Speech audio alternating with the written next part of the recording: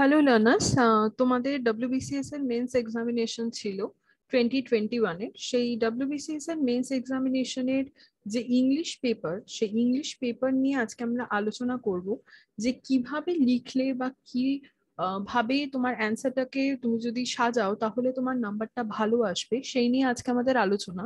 এবং প্রথমেই আমরা শুরু করব যেটা দিয়ে, সেটা হচ্ছে যে a write a letter to the manager of a theater inquiring about showing a movie to the children of a school in the afternoon.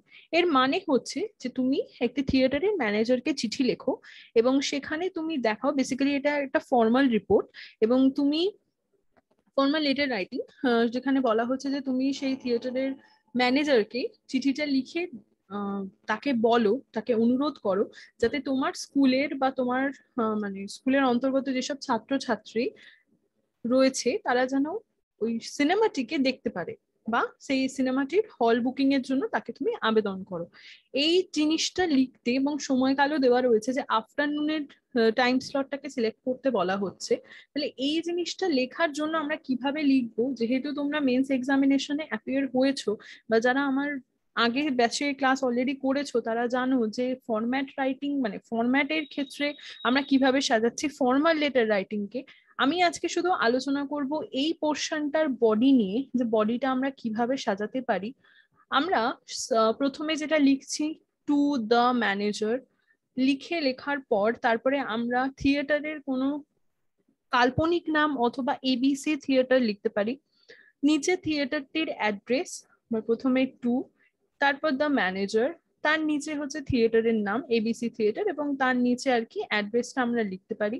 Next যেটা আমরা করতে পারি সেটা হচ্ছে আমরা সাবজেক্ট দেব এবং সাবজেক্টের অপশানে আমরা লিখছি arrangement for movie show for school children আমরা চাই, আমি চাইছি সাবজেক্টের ক্ষেত্রে লেখা হবে যে আমি একটা অ্যারেঞ্জমেন্ট আপনার থেকে অনুরোধ করছি যাতে আপনি আমার একটা মুভি শো এর স্লট দিতে পারেন আপনার থিয়েটারে এবার আমরা ডিরেক্টলি চলে যাচ্ছি সাবজেক্টের পর বডিতে তাহলে বডিটাতে আমরা কীভাবে সাজাবো বা কীভাবে সাজালে আমাদের জিনিসটা ভালো হবে?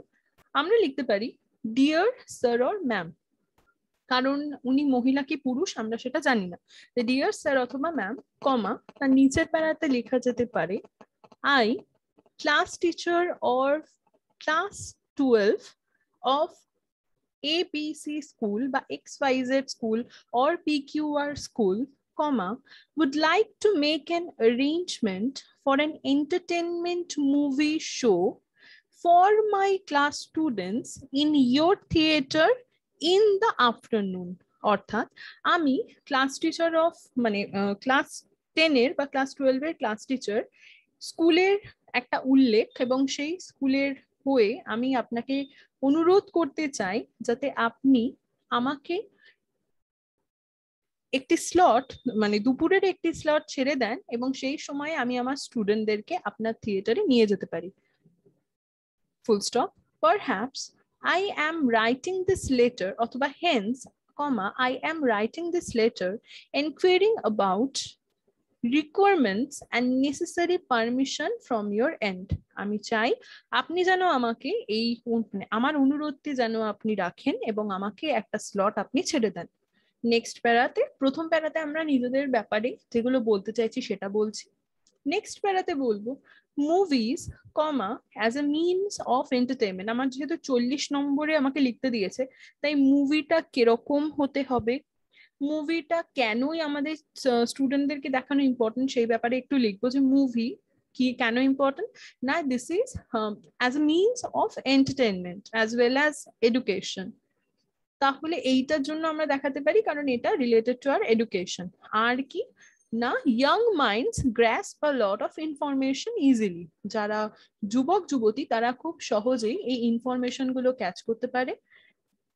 Because of the visual nature of representation এই রিপ্রেজেন্টেশনটা যেহেতু চোখের সামনে চলচ্চিত্রের মাধ্যমে হয়, তাই খুব শীঘ্রই তারা এটাকে ক্যাপচার করতে পারে। Full stop keeping in mind uh, keeping in mind the above comma the school authorities have decided to show an informative yet entertaining movie for the students সেই কারণেই আমাদের স্কুল অথরিটি থেকে অ্যারেঞ্জ করা হয়েছে যাতে তারা এই সিনেমাটা লোকের সামনে বা তাদের স্টুডেন্টদেরকে দেখায় full stop hence the movie বলে মুভিটার নাম it could be Three Idiots it could be uh, any other movie which is really an educational one tare zamin par hote pare has been selected for the show. বলে show এর time যদি কিছু preferable বা preference কিছু থাকে তাহলে সেই preferable স্লটটা লিখতে হবে। নেক্সট আমরা লিখতে পারি হচ্ছে প্যারাতে we plan to make the trip after a couple of months আমরা ভাবছি যে এই মানে কবে যাচ্ছি সেই ডেটটা বা মান্থস হতে পারে ডেজ হতে পারে সেই পার্টিকুলার স্টিপুলেটেড ডেটটা আমাদের লিখতে হবে।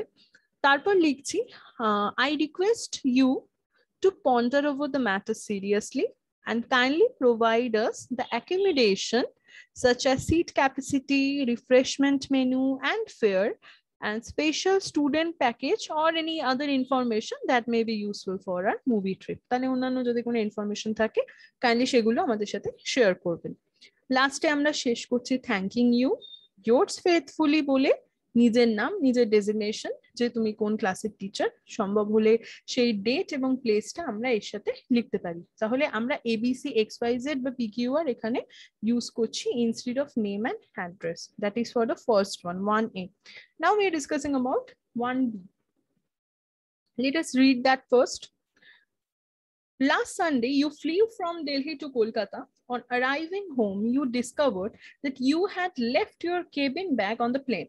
Write a letter to the airplane, eh, sorry airline describing about the pack তার মানে এটা কি? আমাদেরকে ডেসক্রাইব করতে হচ্ছে যে কীভাবে আমি জিনিসটা ফেলে এসছি বা কীভাবে আমি লিখতে পারি। তাহলে প্রথমে আমি শুরু করছি টু ওই আগের রিপোর্টের মতনই টু দ্য টু দিয়ে আমরা অ্যাড্রেস করতে পারি। আমাকে বলছে যে এয়ারলাইনকে দিতে তাহলে টু বলে ওই এয়ার দ্য বলে একটা এয়ারলাইনের নাম এবিসি এয়ারলাইন বা এক্স ওয়াই জেড এয়ারলাইন বলে এয়ারলাইনটার address if it has any official address আমরা যখন কোনো এয়ারলাইনে যাই তার একটা স্টিপুলেটেড অ্যাড্রেস থাকে। It could be xyz um, airlines address is something and it, it has already written on the website of that particular um, airline transport so আমরা ওখান থেকে ওই অ্যাড্রেসটা কালেক্ট করে লিখতে পারি। নিচে আমরা পিন কোড লিখছি এবং সাবজেক্টের জায়গাটাতে লিখছি কি? না cabin bag left on the plane এইটুকু। এবার এই যে জিনিসটা লিখছি যে আমার কেবিন ব্যাগটা লেফট হয়েছে এবং লেখার পরে আমি কি করছি? সাবজেক্টের পর থেকে বডিটা শুরু করে দিচ্ছি। বডিটাতে আমার কি থাকতে পারে? বডির ক্ষেত্রে আমার থাকতে পারে হচ্ছে যে ডিয়ার স্যার অর ম্যাম শুরু হলো। Next প্যারাতে I am writing this letter to inform you that I forgot my cabin bag on your airlines বলে এয়ারলাইন্স এর নাম্বারটা যে প্লেনটার নাম্বার থাকে টিকিটে সেই একটা মন গড়া নাম্বার দিলেই হয় A B C one two three on which I flew from Delhi to Kolkata বলে একটা টাইম যে কবে সেটা হয়েছে? লাস্ট সানডে ভালো? এবার কি? মাই সিট নাম্বার ওয়াজ এই কিছু একটা thirty five A thirty six B এইটা and my PNR number was বলে একটা পিএনআর নাম্বার যেটা আমাদের ট্রেনেরও হয়, এই ABC one two three four বলে that that is the thing যেটা দিতে হবে। নেক্সট লিখছি I had placed my bag in the opposite cabin as one, uh, one above my seat was already full and I realized that I had forgotten it only after reaching my home. তাহলে আমি বাড়ি ফেরার পর বুঝতে পেরেছি যে আমার জিনিসটা হারিয়েছে। I forgot it has I was in a hurry to board my next flight আমার অন্য একটা ফ্লাইট ছিল বা আমার হয়তো কোনো আর্জেন্সি ছিল দ্যাটস ওয়াই আমি ভুলে গেছি। Next para my bag is a dash ওই ড্যাশের জায়গায় এবিসি কোম্পানি যদি তোমার ব্যাগ অনেকেরই পুমারের ব্যাগ হয় বা আডিডাসের ব্যাগ হয়, সেই জিনিসগুলো লিখতে পারি যে মাই ব্যাগ ইজ আ গুশি বা কোনো কোম্পানির ব্যাগ এবং কমা দিয়ে ব্যাগটার ডেসক্রিপশন কি? না, এটা হচ্ছে black in colour or leather bag with the tag line কোনো যদি ট্যাগ লাইন থাকে ব্যাগে যে আই লাভ ইন্ডিয়া তো সেরকম ট্যাগলাইন বলে ফুল স্টপ এবার কি লিখব? I also have my name etched on it আমার নামটাও এই ব্যাগটার মধ্যে লেখা রয়েছে The bag contains my books for the next semester along with a few of my credit cards. I am petrified as those cards do not ask for pins for transaction. তার মানে কি? যে আমার ওই ব্যাগটার মধ্যে যদি সেমিস্টার হয় বই বা আমার কোনো রিলেট মানে ডাব্লিউবিসিএস এর বই রয়েছে এবং তার সঙ্গে কি আছে? কয়েকটা আমার ক্রেডিট কার্ড রয়েছে, যেগুলো যদিও পিনের পিনকে জিজ্ঞেস করে না ট্রানজাকশনের জন্য। তাই আমি কিন্তু একটু ভীত। পেট্রিফাইড কথার অর্থ হচ্ছে আমি একটু ভীত এই ব্যাপারে, যে ট্রানজাকশন হয়ে যেতে পারে। আই অলসো হ্যাভ মাই কিছু একটা ফোন হতে পারে, একটা extra phone I also have my iPhone বা ল্যাপটপ ইন দিস ব্যাগ কোন পোর্শনে না ফ্রন্ট পার্টিশনে বা back partition of the back সেটা লেখা যেতে পারে এবং লাস্টের প্যারাতে লেখা হবে I request you to search the cabin for my bag if it is there i could come and collect it directly from you this week itself please or please kindly inform me if it is not found as i need to lodge a complaint to block my cards at the earliest আমি আমার কার্ডটাকে যত শীঘ্র পারব block করে দিতে পারব। তাহলে এই জিনিসটা হচ্ছে একটা কমপ্লিট বডি অফ দ্যাট মানে লজিং আ কমপ্লেন বা কমপ্লেন নয়, এটা তো হারিয়ে গেছে, তাই একটা রিকোয়েস্ট লজ করা হচ্ছে, আমরা বলতে পারি। এখানে আমরা এবিসি ইউজ করছি এক্স ওয়াই জেড পিকিউআর কে ব্যবহার করছি। এবং লাস্টে ইউর্স ফেথফুলি তোমার নাম, তোমার সিট নাম্বার এবং পিএনআর স্টেটাসটা খুব বেশি হলে লিখতে পারো। এই হলো আমাদের one portion now we are going to the second one draft report on the poor condition of roads and public parks in your locality এটা নিয়ে আমার এক্সট্রা কিছু বলার নেই বিকজ আমি জানি যে অনেকেরই পাড়াতে এটা রয়েছে এবং তারা অনেকেই হয়তো নিউজ পেপারে কমপ্লেন করেছে। এখানে লেখা যেতে পারে মানে যে টাইটেলটা complaint against poor condition of roads by নিচে ড্যাশ দিয়ে বাই বলে তোমার নাম, নিজের নাম। তারপরে তুমি শুরু করতে পারো I wish to seek the courtesy of your newspaper to publish this report on the above subject matter এটা কেন লিখব যাতে এটা আমাদের কিন্তু বডি নয় এটা হচ্ছে যে যিনি পড়ছেন তিনি যেন ওটা দেখে প্লিজ হন যে হ্যাঁ আমি এই জিনিসটা পোস্ট করি এছাড়াও আমরা লিখতে পারি এটা হচ্ছে প্রথমে আমরা লিখে রাখব এবং তারপর শুরু করছি এইভাবে যে almost all the roads in the city are mined মানে সব জায়গায় খানাখন্দ দিয়ে খোঁড়া রয়েছে। তো it has created a serious condition it is the cause of many accidents in the city যেহেতু খানাখন্দ রয়েছে মানে রোডস এর কন্ডিশন খারাপ, তাই অনেক মানুষের কিন্তু অ্যাক্সিডেন্টও হচ্ছে। এছাড়া কি লেখা যেতে পারে? Poor drainage system is also responsible for damaging of the roads drainage system ভালো না। It is a well expressed fact that the people of Karachi pay a huge amount of vehicle tax. করাচির মানুষরাও প্রচুর টাকা কিন্তু vehicle ট্যাক্সে দেয় though they are not getting the opportunity from the government তারাও opportunity পাচ্ছে না। And in India we are also doing the same আমরা ইন্ডিয়াতেও একই কাজ করছি। কেন ইন্ডিয়া করাচির কথা বলছি? যাতে আমরা একটা এক্সাম্পল দিতে পারি। এবং এক্সাম্পলের ফলে আমাদের যে অ্যান্সারের মান, সেটা যেন উন্নত হয়। তারপরে লিখতে পারি hence it is the fundamental right to the citizens to have better roads for their vehicles আমাদের সিটিজেন হওয়ার দরুন একটা যে নীতি আছে, সেটা হচ্ছে যাতে আমরা ভালো সুযোগ সুবিধা পেতে পারি। নেক্সট প্যারাতে লিখছি আই মানে নেক্সট প্যারাটাতে আমরা এই যেহেতু এটা লেটার নয় তাই আমরা লিখতে পারছি যে I would request the government to ponder over the matter seriously and take necessary steps according to this problem because in my area the public parks and the roads they have very poor condition আর যদি তোমাদের আরো extra কিছু থাকে বলার বক্তব্য and most important thing always mention your locality name with abc or with xyz or with pqr do not give your uh, exact address or anything okay that is the thing which i want to tell you uh, regarding to the locality function Okay, fine. So that is a drafting of a report. Now we are going to the next one, number three.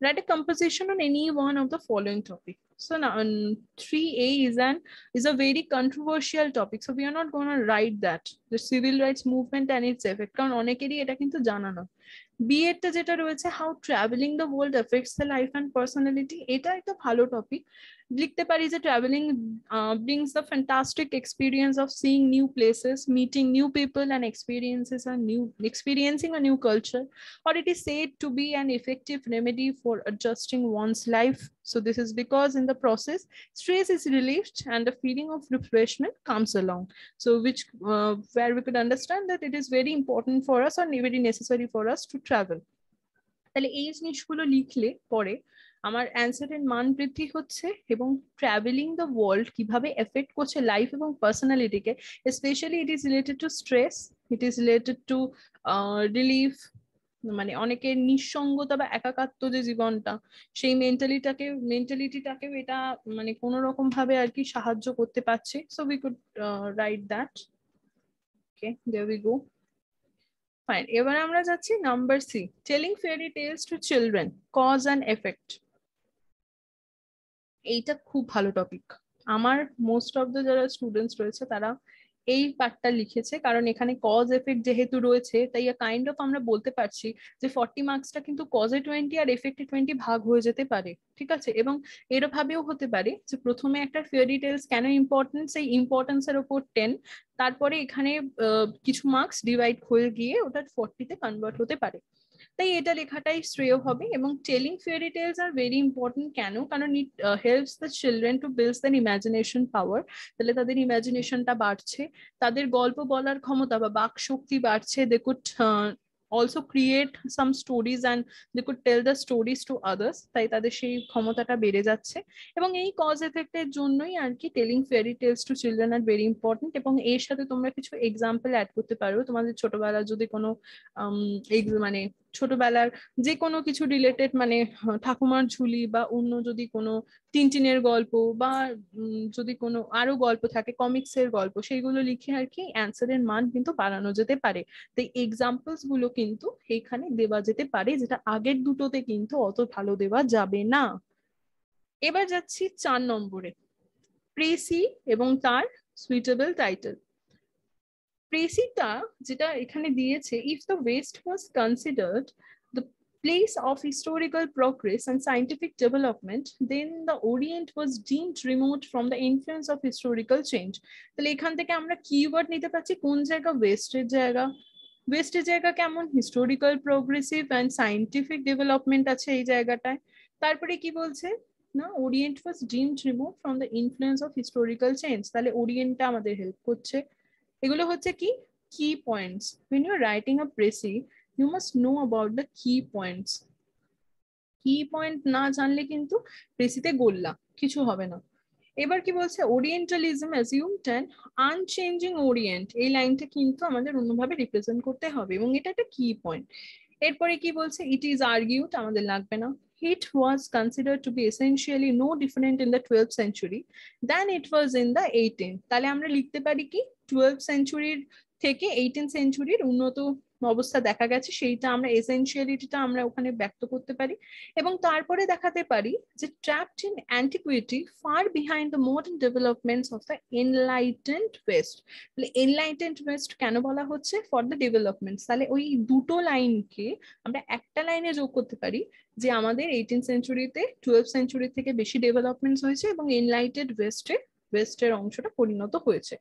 লেখা যেতে পারে Conceived in this way, the Orient was often considered as primitive or backwards. না লিখলেও সমস্যা নেই A Westerner, hmm, oh, a Westerner traveling to Oriental lands was not just moving in space from one location to the other.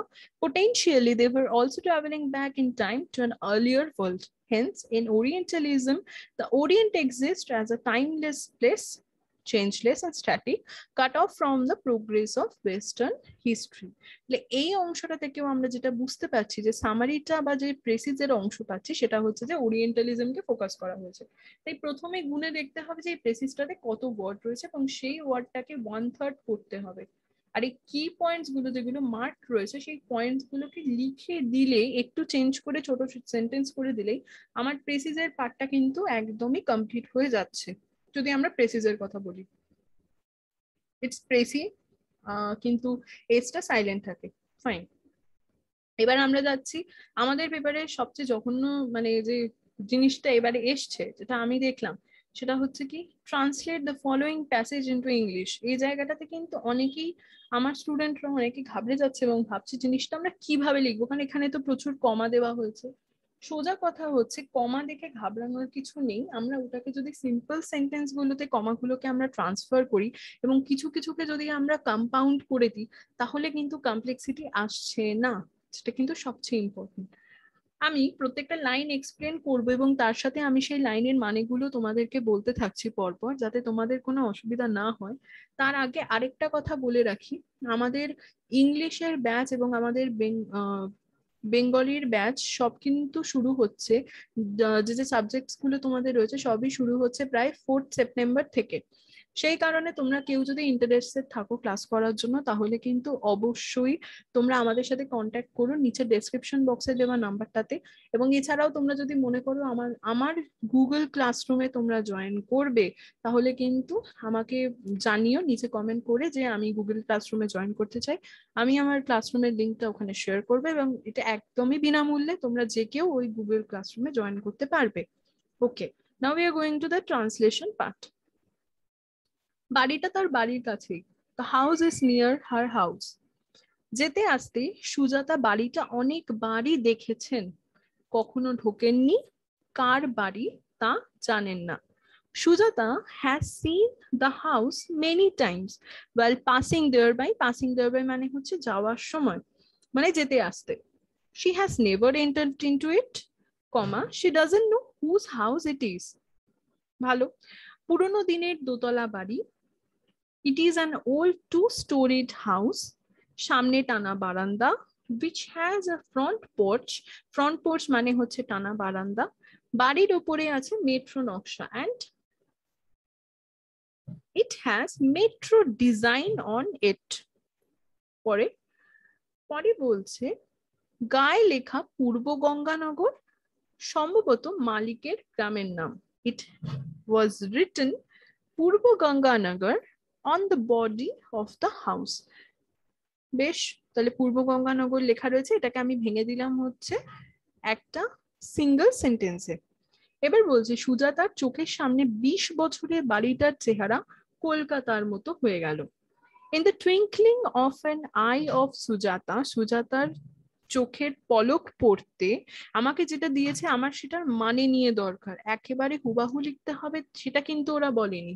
তাই translation হচ্ছে in the twinkling of an eye of Sujata সুজাতার চোখের পলক ফেলতেই the structure of the twenty years old house এই বাড়িটার যে চেহারাটা কুড়ি বছর আগের মতো হয়ে গেল অ্যাজ লাইক অ্যাজ ক্যালকাটা তাহলে লাইনটা দাঁড়াচ্ছে in the twinkling of an eye of Sujata the structure of the twenty years old house turn as like as Calcutta বেশ নেক্সটে বলছে খানিকটা নতুন ঝকঝকে এবং এই জায়গাটা দিকে বলা যেতে পারে যে some portion of the house is slightly shiny enamel রঙে উদ্ধত এনামেলড এনামেল মানে এনামেল রঙে উদ্ধত। জানালার নিচে আছে মানে জানালার নিচে এয়ার কুলার তাহলে এইটাকে বলা যেতে পারে and has an air cooler under the window full stop এবার বলছে কি, খানিকটা জীর্ণ পলেস্তরা খসা, জানালায় শাড়ি কাটা, ময়লা পর্দা বেশ some portion of the house is worn out worn out মানে হচ্ছে জীর্ণ। পলেস্তরা খসা মানে হচ্ছে plaster spilled off R dirty curtains curtains are draped over windows জানলায় ময়লা পর্দা ঝুলছে। ড্র্যাপড ওভার মানে হচ্ছে কোনো পর্দা জাতীয় জিনিস বা কোনো শাড়ি জাতীয় জিনিস যখন কোনো বাড়িতে ঝরে তাকে মানে ঝোলে সে জিনিসটাকে আমরা আর কি বলছি? Draft over fine now we are going to the next sentence কি আছে? হ্যাঁ নিচে রাস্তার সামনে ঘরে ঘরে ধোবিখানা। হোমিওপ্যাথি ওষুধের দোকান, রেডিও মেরামতি দোকান। তাহলে বলা যেতে পারে at the down stairs there are laundries মানে বাড়িটার নিচে আছে laundries homeopathy medicine shops homeopathy ওষুধের দোকান রেডিও মেরামতির দোকান অ্যান্ড রেডিও রিপেয়ারিং শপস শরীকে শরীকে ঐশ্বর্য দারিদ্র ভাগ হয়ে গেছে, বোঝা যায়। এটা কীভাবে লেখা যেতে পারে? এটা লেখা কোশেয়ার কোশেয়ারের যে কথাটা, সেটা মানে হচ্ছে শরিক। এইখানে আমরা লিখতে পারি যে ইট সিমস দ্যাট এটা মনে হয় যে it seems that the wealth and poverty of the co sharers of the house has been divided শরিকে শরিকে এই দারিদ্র এবং ঐশ্বর্য ভাগ হয়ে গেছে। We going to the next paragraph অন্ধকার প্যাসেজ পেরিয়ে শরিকি উঠোনের পাশে একটা বড় ঘর। এটাকে লেখা যেতে পারে এইভাবে। বিয়ন্ড দ্য ডার্ক প্যাসেজ শরিক মানে অন্ধকার প্যাসেজ পেরিয়ে, তাহলে beyond the dark passage there is a big room next to the co sharers yard yard মানে হচ্ছে উঠোন ওয়াই এ আর ডি ইয়ার্ডকে অ্যাকচুয়ালি আমরা কোর্ট ইয়ার্ডও বলতে পারি, কিন্তু আমরা এখানে ইয়ার্ড কথাটা ইউজ করছি। তারপরে বলছে বাড়িটার পেছন দিকেটা, তাহলে কি লেখা যেতে পারে? It is the back side of the house সামনে একটা অযত্নের আতা গাছ। এবার অনেকেই জিজ্ঞেস করছে, আতা গাছ কি? আতা গাছের ইংরেজি যে অংশটা, সেটা হচ্ছে কাস্টার্ড অ্যাপেল। আতা গাছের ইংলিশ হচ্ছে কাস্টার্ড যে আমরা খাই, সেই কাস্টার্ডের সঙ্গে অ্যাপেল। ফাইন সেন্টেন্সটা বলি। সামনে একটা অযত্নের আতা গাছ।